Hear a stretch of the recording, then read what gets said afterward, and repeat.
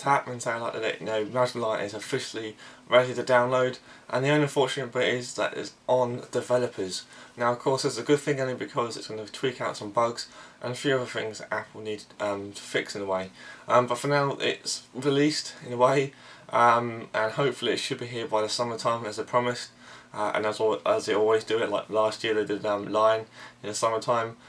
Um, and I'm, I'm, you know, recommend, well, I'm reckon that Apple are doing something with their iOS devices in a way, because as you know, um, next month is when the iPad 3 will come out, uh, and then after that, a couple of months later, the iPhone 5, but I said the 4S then, it'll be quite bad. Um, but no, the iPhone 4S will come out and the iPad 3 will come out.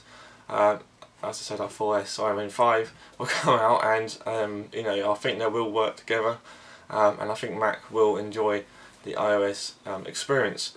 However, less guys, the beta, or should I say developers program is only for, um, I think it's a few limitations onto what it is, but no matter what, but I know that next week by some time people will be on YouTube with a ton of videos showing you what there will be.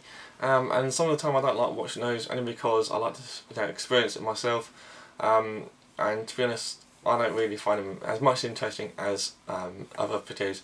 Anyway guys that's another thing but um, you know probably next week you'll probably see everybody on to the developer side and reviewing the product or should I give a demonstration of what it will be um, and giving us guys a sort of experience, uh, experience, uh, experience sorry should say of um, what there will be. Um, but anyway guys, that's just a quick sort of um, update that you can download Mountain Lion only for a developer, unfortunately. Um, I wish it could be for like beta versions like yesterday I talked about my messages, um, but yeah, it's Apple wasn't it I guess. But anyway guys, this is a quick update and I hope you enjoyed and I'll see you all in my next video.